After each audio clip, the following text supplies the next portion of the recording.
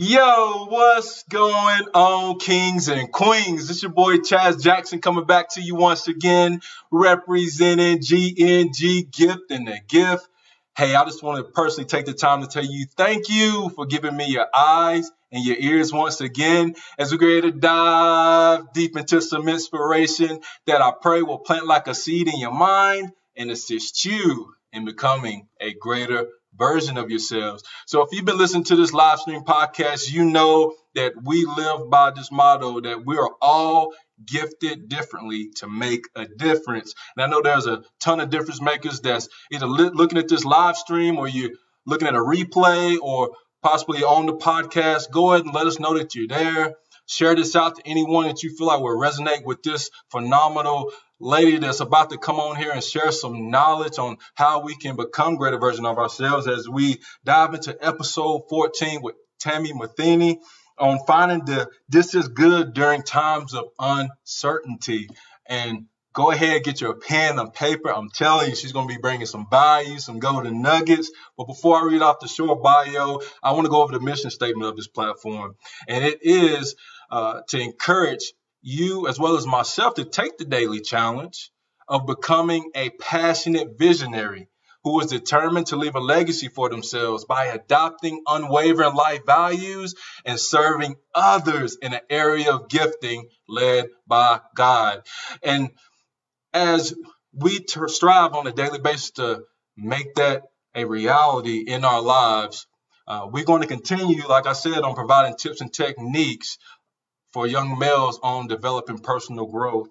And Tami Matheny, I'm gonna read off his short bio. We're gonna get a get a roll and introduce her to each and every one of you. So Tami is the owner of Refuse to Lose Coaching LLC and author of The Confident Athlete, four easy tips to build and maintain confidence, and the Confidence Journal.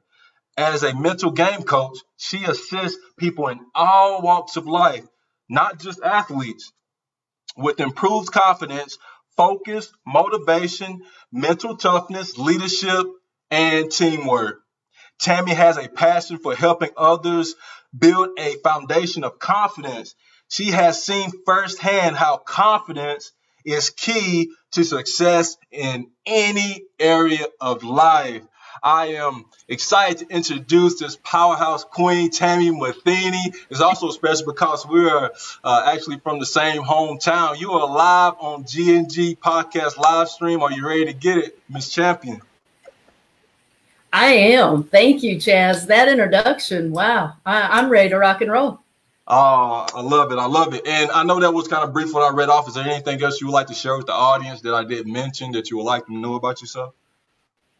I, I think you did a pretty good job. But I, appreciate that introduction and everything you said before that. You you have me motivated already. Oh, I love it. I love it. I love it. That is the name of the game. And I, I'm exceptionally excited to dive into our, our theme of finding the this is good uh, during the times of uncertainty.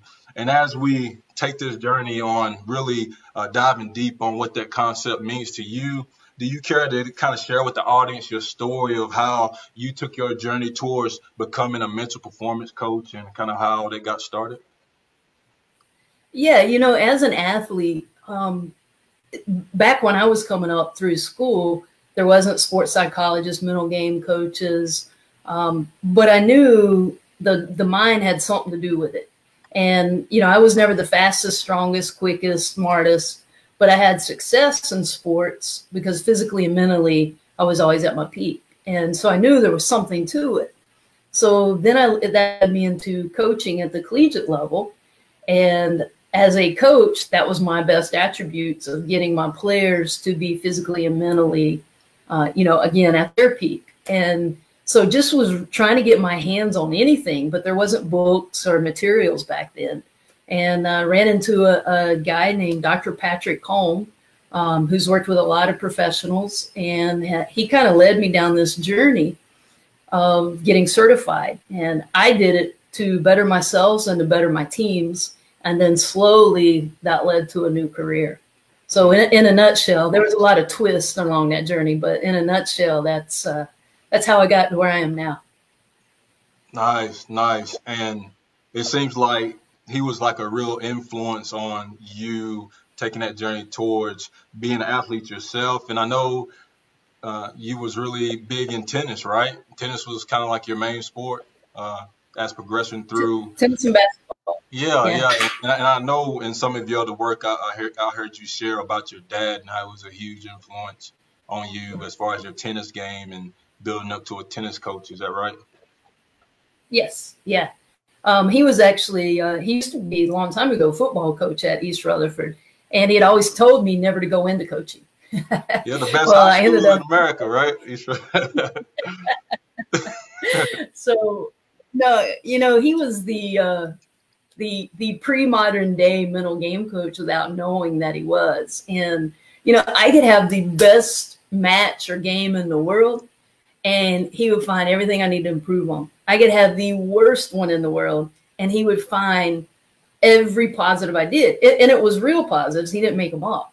So he always kept me, you know, right here, never too high, never too low. And uh, he always, you know, had me looking at, all right, this happened. So what are you going to do with it? Hmm. And, and it, it, kind of planted those seeds to uh, kind of my whole idea of this is good and finding the good in whatever does happen. Yeah. And for us not to get as big headed, it's kind of like he was wanting to, to set a standard of hey, we'll accomplish this this particular goal, but we need to make this goal a journey and continue to get better and better and, and really stepping back and looking at the big picture because sometimes we can think that everything's unique or I have it all down packed and I have all the answers. I have this, you know, this skill to the top of his T. I'm the best at it. But I think it was Les Brown. He had said something that really resonated with me. He said, we should all get mentors in our life because it's hard uh, to see the the big picture when you're inside of the frame. Like so, meaning like if I'm inside of the frame, it's hard for me to truly see the whole idea of my true potential. You know, and that's kind of why we have to kind of pull and get uh, amazing people around us. And it definitely sounds like your dad and and your other coach that you uh, previously mentioned kind of helped scale the way for you to get to where you are now. So that's good stuff. Yeah, you know, I, have been very blessed with people in my life, teachers, coaches, family members, you know, because I, I don't think any of us can have success alone. And I've been blessed with, you know, when I want to quit, when I want to turn in another direction because it's getting hard, of having people remind me, you know, no, let's keep going. So I just want to dive into like you know some some amazing stuff that I, I, I truly as far uh, from an athletic standpoint, like I know you said like you ran like 40 miles at one point, right? You ran like 40 miles and and I know you kind of cycle. Cycling was a really big part of you, correct? Are you there? I lost you there. You there? Yeah, yeah. We, are back. We're back at it. Yeah, but did you did you catch right. that about the the cycling? And I know you you uh, said you ran rode over 80 miles in cycling and you ran over 40 miles. That's pretty impressive, man. Like, and, and when I'm thinking about this theme of during times of uncertainty, I know within a 40 mile span, like I got up to 18 miles at one point. I mean, this was years ago, but I couldn't imagine my, my, my mental capacity. And again, I know the, the training aspect and preparing for it. I know it's a whole different mindset in that uh, area. But just thinking of 40 miles, like I know there was some point like you was just like, man, maybe I should stop or or that that you know that that part of you is kind of just kind of like, dude, I'm really attempting 40 miles right now.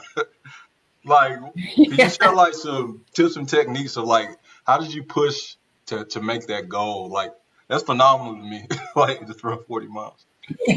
well, you know, it's either phenomenal or crazy based on, you know, your opinion. But it, what I tell people, it's nothing special.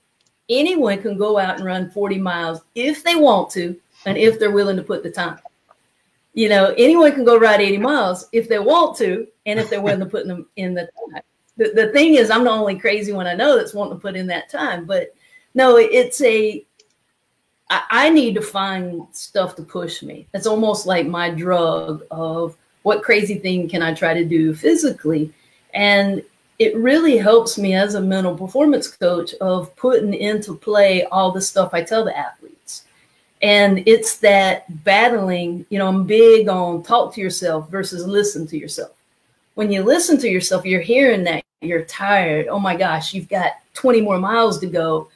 Oh man, why am I doing this? But yeah. when you talk to yourself, you're like, nope, you got this. And you're reminding yourself of why you're doing it, how you're going to feel when you get done with it. So I, am a firm believer we got to talk because if we don't, that brain's going to like talk for itself and we're going to listen to the negative stuff that's coming out of it. So, you know, that's probably the biggest thing. Um, I'm big on body language too. And if you smile, like you don't know how many times I smile when I run or, or I'm biking and just like, yeah, I'm the only crazy person I know wanting to do this right now. I love it. But when you smile, it, it lets the body like relax and do what it can do. Uh, you know, so those are two of the biggest. They're simple, but man, they're so effective in anything that we do in life. Mm. You know, so, yeah, uh, so that that's still my biggest ones.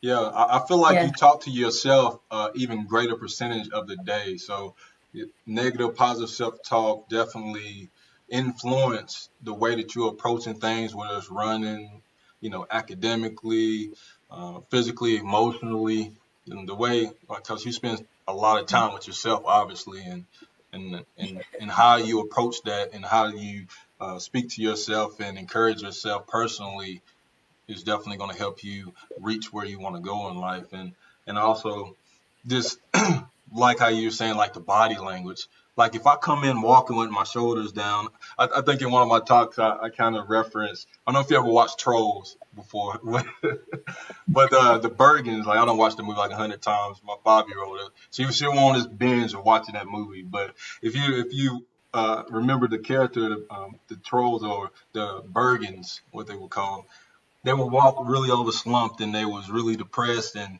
versus you know standing up tall like that Superman pose. You know, it, it actually changed the whole energy in a room just based on your body language, and I can just imagine how even that plays a part in trying to push through uh, a strenuous exercise. So, yeah, I truly believe what you what you definitely shared there, and even talking about so your book. I know you shared that you know prior to even your first book, right? Um, there, there was times where you didn't feel that you was a capable writer, and the people around you didn't necessarily influence you as a writer. So, can you kind of share how that journey was for you to kind of recognize the validation within yourself and not necessarily looking for it from other people to kind of be at the position you are to uh, publish three books, right? So we got three books now. Yeah, three books. Um, starting a fourth right now. I don't know again oh, if that's crazy or not. um, so you know, through high school and college, I made very good grades except for anything that involved writing, and I would get back reports of great research, great info, like C or D on your writing, grammar, all of that. And so I just started again. I was listening to myself I can't write. I can't write. I can't write. And that became like the story I was telling myself. And I actually had a, a teacher in high school, and she really fed that belief. And I thought, all right, I'm really going to knock this book report out of the water. And I spent so much time on it and turned it in. I felt like it was the best work I've ever done. She hands it back after she graded it F, too good to be yours. So mm. that just fed that belief that, all right, see, I don't write. And I hung on to that like a rope around me, like it was my chain. And even as I became a mental performance coach, people would say, You need to write a book, you need to write a blog. Nope, nope, I don't write. and, uh, you know, it was just that was easy. That was my comfort zone. And I finally had a coach challenge me. You talk to us all the time about getting out of our comfort zone, but what am I hearing with you with this book? And I was like, okay, you're right. So the the first book was to show myself that I could write. That was the main purpose of it. That was just to kind of like cut that chain, and and then it's become contagious after that. So uh, you know that that's kind of my my story with uh, writing. Nice, nice, and it was it was just kind of making it to that that peaking point of you know knowing that we perform at the level of our beliefs and not our potential. Like you said, your potential, you're writing your fourth book, and I'm sure you're going to write even more because you're a brilliant woman. Like it's just changing that belief system to knowing, hey, I can do this, and and that's phenomenal that you know you didn't let someone tell you that you couldn't do it, and you didn't uh, uh keep that self doubt in place and kind of broke that chain and and pushing forward to where you are right now. So that, that's really good stuff. This is good. This is good. I love that title. This is good. I love that title. And also, like I yeah. know, even with the writing, and I guess prior to the writing, you was actually you coached tennis, right? You coached at um, USC Upstate, right? And you you you coached the men's tennis team, right? And you guys kind of won. Y'all y'all had a winning record, right? That's pretty neat. And yeah. I and I know you kind of shared how you was like one of the first women to actually coach a, a male's team at one point. Yeah, so yeah. As, as far as that goes, when thinking about those men that, that you was coaching and thinking about the theme of finding this is good during the times of uncertainty, let's just say one of your players that was on that team, one of those males was having some uncertainty about you know where they are right now, how the team is looking, how they are as far as personal development. They're having some uncertainty there. Is there any type of tip or technique that comes to mind that you are willing to share to kind of get them back on the right path that comes to mind? Yeah, you know, and, and I still use this today and I used it as a coach, but it's like stay in the moment too often we get too far ahead. I'm not as good as this person, or I'll never get here, or and everything just seems so big. Instead of let's break it down. What do you need to do in this moment or in this practice, in this training session that will get you better? And I, I think again, we get too carried away by results or outcomes or thinking too far ahead. And we can't take care of the future unless we take care of the moment. Mm. So that was one of my biggest things that I would try to drive home. If we take care of the moment and do what we need to do in the moment, then the future is going to be taken care of for us. And, and I truly believe that in any walk of life, but we get too carried away of dwelling on the past, of what's happened in the past that's unfair or we lost our confidence with, or thinking ahead and having that anxiety or dwelling on the future. But the key is if you stay in the moment and take care of this moment as good as you can, and then the next moment, and then the next, then the future just kind of opens up for you. Mm.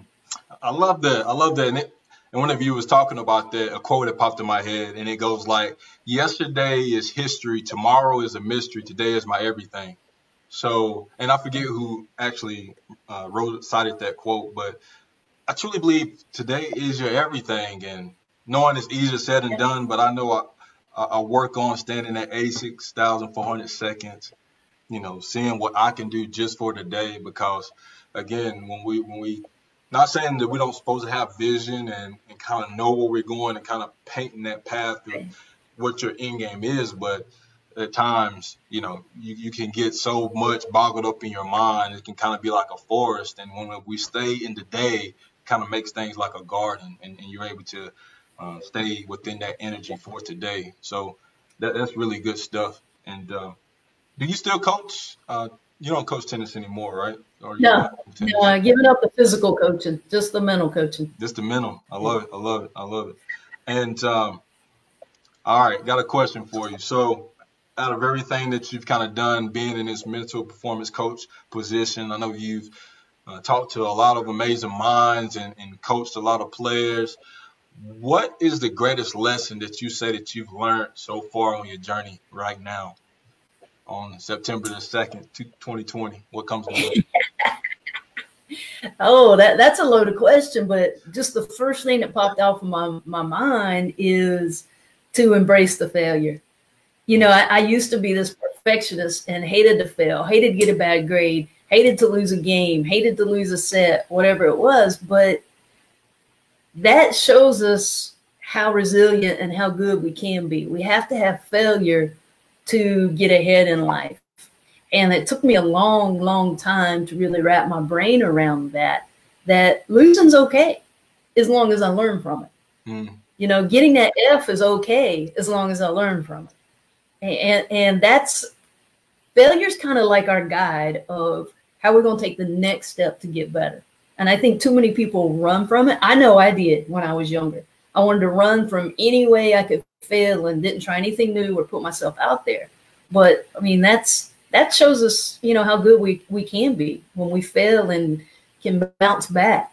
Um, I remember in high school, my senior year, uh, I, I hit a game winner against R-S Central, and they were like loaded that year. And I thought I was all everything, you know. I was big head, go to the church, and you know everybody's congratulating me. And then my minister says, "What would have happened if you'd missed that shot?" Mm. And I was like, "I don't, I don't want to think about that. I didn't. I made it." Talk about that. and, he, and he's like, "No, no, think about it because you're going to miss that shot one day, whether it's basketball or tennis or something, you're going to miss it. So he's like, so I want to know how you're going to handle it when you do. And I was just like, it was such an uncomfortable conversation. And I went like, I, I, you know, but then I really thought on it that night and later. And he actually sent me a quote later that success is how high we bounce once we fall. And I'm sure most of us have heard of that, but I'd never really processed that or thought about it. And I think that's when I slowly started seeing that, all right, you know, successful people are the ones that have fallen and have bounced back higher, not the ones that have just always had it the easiest and always stayed on top. That is gold. I hope you took my advice and got the pen and paper. She just dropped some jewels right there. I just took that down. Success is how, how we bounce when we fall. And first thing that comes to mind when I think about that is during obstacles, we have to seek the opportunities in those times. So like COVID nineteen and, and, and so many other obstacles that's uh, been in our path in 2020 is kind of like stepping back and, and looking and evaluating and saying, how can I create solutions during the problem? And I truly believe, for me, I'm, i can relate to you. I kind of ran away from situations where I was being challenged, while I was, you know, being uncomfortable, whether it was from an athletic standpoint or academic standpoint or even relationships. You know, relationships got really serious, or if it was something that was foreign to me, I would tend to find myself run away instead of embracing it and saying, well, how can we build and, and grow stronger from this situation, drawing a line and plugging in the blank. And and what I truly found out on my journey, and I'm still growing in this in this aspect, and I kind of want to get your opinion on how important you think this is, is asking questions. So many times, like you can save yourself from so much failure and so much heartache and so much frustration just asking questions. And Jack Canfield, he said in one of his books, is success leaves clues, and just trying to find the clues, right?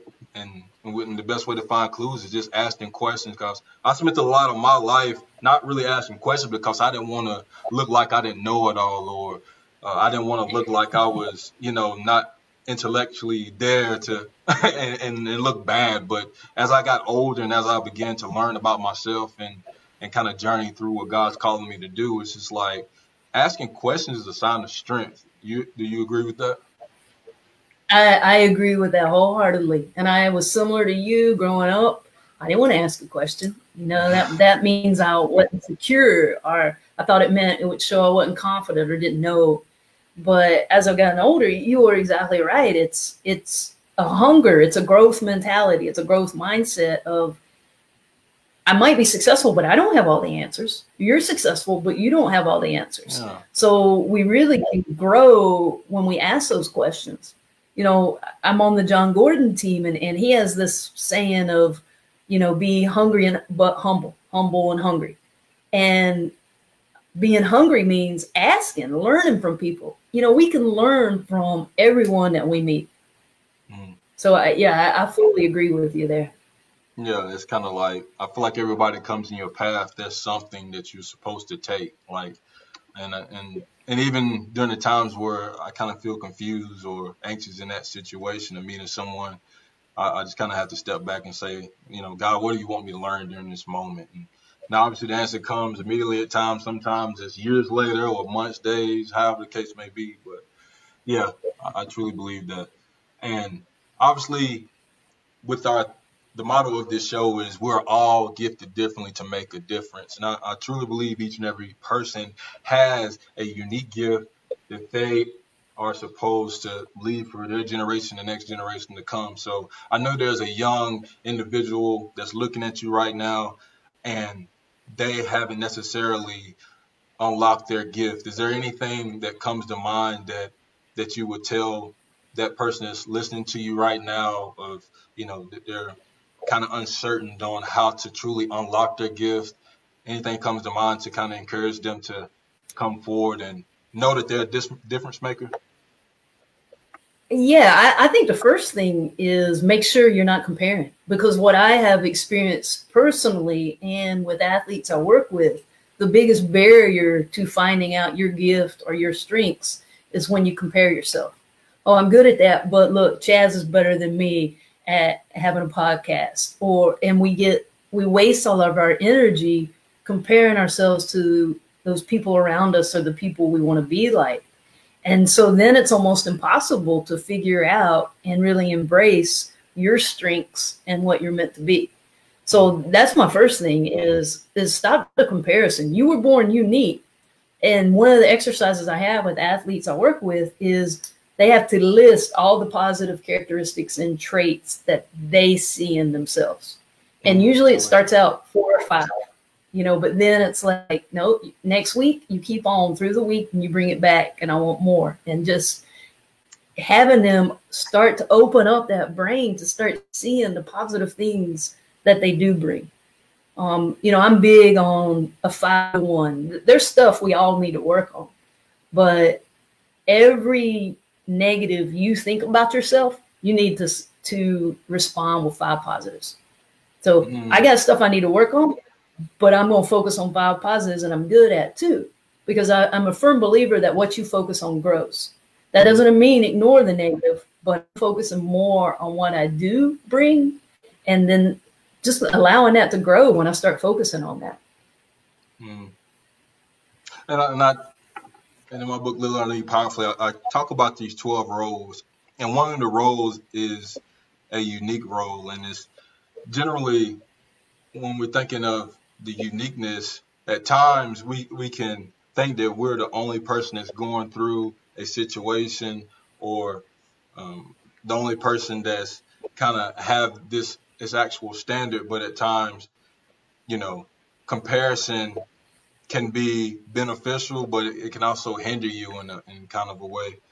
And I, I truly believe like that actual comparison aspect of things, you know, we are all fearfully and wonderfully made, right? So um, really diving into knowing that in, in the gift aspects, you are unique and, you know, you have something that you are only able to share to the world. And, you know, you know, out of 7.5 billion people, no one has your fingerprint, you know, and it's, it's, it's really owning that and, and understanding like you, and I like, I like how you kind of shared, like opening up with those positive characteristics because this world is kind of built on you know the negative and, and really uh, feeding energy to the negative. So really dialing back into like what am i good at? What are my strengths? And, and really kind of building off of that. And even with the comparison aspect sometimes you know so, yeah i could be stronger than you in one area and and if we can embrace that hey chaz or tami's strong in this area but that other individual, you know, for me, in, in aspects of you, you know, you could be strong in the area that I'm weak in, and we can kind of come together and help each other kind of embrace. And I can help you grow in this particular area, you can help me grow in another. Um, so, not necessarily looking at things as, you know, oh, you know, he's goody two shoes and, and he's, I don't want to be around him because I'm weak in that area, but really just kind of coming together and kind of building on that communication aspect and I know, you know, in your book, The Confident Athlete, you talk a lot about communication, right, and how important that is. And uh, we kind of talked about, you know, asking questions and and really kind of growing in that factor as well. Yeah, yeah. To me, communication is the lifeline that we have, because uh, you know I believe that, like I said earlier, we don't get anywhere without other people, and so that's communicating with them our needs and communicating the questions to help us better. But also, we have to work with each other. So we got to communicate. You know, when there's a lack of communication, there's a void. And nine times out of 10, that void is going to be filled with negative. We're just to assume. So I, I really feel like any relationship, team, business, personal, that the more you communicate, then the more that you can weather through any adversity that comes your way. So, you know, communication is like one of the top keys to be successful in anything in life. Hmm. I love it. I love it. I love it. And is there anything else that kind of comes to mind that that's it's on your heart to share with the audience as far as you know during like knowing that this is good during the times of uncertainty. Is there anything that else that comes to mind that you'd like to share? Uh, just more on the this is good. Um, you know bad things happen every day and we have a choice of how we look at things. Nothing's good or bad till we decide it is and so, like with COVID, we've been handled this COVID. We've all had our issues with it. And I firmly believe those that have looked at it, all right, here's the challenge, here's the opportunity, are going to come out so much more successful than the ones that are, poor me, this has been taken away from me, I'm really struggling. And that's not to take away from what people are going through, I, I you know, but are we spending our energy dwelling? Are we spending our energy on how we're going to take it and not make it as bad or make it even better in the long run? And so that whole idea of this is good is we have to keep our minds open enough, long enough, alive to allow the good or something different or better to come into our lives. Mm. And, and I'm sure you have experiences where things didn't go how you planned, but you stayed alive you stayed with it, and then it turned out different than anything you could expect, but even better. Mm. And that's the key of when we give in that negativity, then we're setting ourselves up for for failure. But all right, COVID's happened. What can, what can I do about it? You know, I lost my job. What can I do about it? Again, that doesn't mean I don't have sympathy or can feel for people that have lost stuff, but it goes back to that failure. What are we going to do about it? How are we going to use this to bounce back? And become successful. Mm-hmm. So that that's my message that's really on my heart right now with COVID. And I don't want it to I don't want it to sound like I have all the answers because this is something I deal with daily too. All right, my job looks so much different, but all right, what am I going to do about it today? Am I going to dwell on it or am I going to like work on something new or better myself in an area? So it's something I'm constantly, you know, having to remind myself of too. You know, if, if, it were easy, anybody could do it. I know. Everybody would do it if it was easy, right? Everybody would do it. And yeah, that that's that's awesome that what you shared and I think we all got to have that humility of knowing like we're still learning, you know, um, Zig Ziglar, he said a quote, he was like, and, and I kind of referenced it a little bit earlier, but he said, you know, success is not a destination, but it's a journey and we're constantly on a journey. This is a journey, and, and whenever I really encountered it and really embraced that in my heart, it really took a lot of pressure off of me because, you know, we're we're, we're so just goal oriented, and once we get to that goal, we're just kind of like, well, what's next? And then uh, at times that yeah. can bring some anxiety, but kind of keeping those goals in mind, but knowing like, hey, this is a journey. And we're continually growing and growing, connecting with amazing people like you, Tami, that helps me grow. And yeah, this is a journey and knowing that you know we don't have all the answers, but we're definitely going to work on seeking as many as possible and and kind of making them you know correlate with each other to be able to serve others the best way that we can. And and I, I truly appreciate everything that you do as a mental performance coach, impacting young people and and uh, people just in general on how they can become greater versions of themselves. So I truly believe that you're going to continue, and I'm excited to hear about the the new book that's going to be coming out. And uh, uh, do you have a date when it's going to be? Your, no, I know, I know this is good came out this year. Yeah, yeah. So it, it's kind of playing off of that with dealing with adversity. So more on how to handle adversity. So some short stories. Oh, sweet, sweet, sweet. And again, phenomenal talk. I know there's somebody here that's like that. Tami, she is amazing. I want to reach out to her. I know she can help me uh, get to my dreams and goals and to help me overcome adversity, help me create better mental performance in my sport or at my job. And can you do you care to share your information on how you know someone yeah. can reach out to you and be able to fellowship with you more? Okay. Um, my email is Tami, T A M I, at r2lc.com. Uh, website is r2lc.com. And then I'm on Twitter, Tami Matheny, T A M I M A T H E N Y. Um, refuse to lose coaching on Instagram. So, uh, you know, I, I, would love to en- engage with you on social media, even if you don't need my help. So please reach out. Um, also, on my website, I have a monthly confidence calendar, and it's just a day to day thing that to me, confidence is built what you say, do, and think every day. And so it's just kind of like your reminder. So I give you like one nugget every day for you to focus on. So um, on the first page of my website, if you scroll down, you can sign up to get that calendar. So I, I challenge everyone to reach out and start applying that in their lives. Tami Matheny, you are a powerhouse, a giant. You know, one of my favorite quotes is, "In order for us to see farther, in order in order for us to see further than others, uh, at times we can stand on the shoulders of giants. And I truly believe you are a giant in the community and, and what you're doing. And I truly believe in everything that you're doing. I'm, I'm so excited that we cross paths and able to continue to grow together. And I truly appreciate you for coming on GNG uh, podcast and sharing sharing your wisdom and knowledge. And I am so excited to see what else God has placed in your heart to share with the world. And and I encourage you to keep serving in your area of gifting because you truly are, and you're uh, such an amazing person. And again, thank you so much for your time coming on the show. Well, thank you very much, Chaz. I could say everything about you. I, I look, you know, what you put up every day for some inspiration. So uh, you keep making a difference as well. Yes, ma'am. Yes, ma'am. And uh, I'm gonna go ahead and lead us out here. Uh, I told each and every one of you, if you didn't believe me by getting that pen and paper, go ahead and get it. Rewind this bad boy. Get the golden nuggets that she laid out there. Phenomenal uh, talk with episode 14.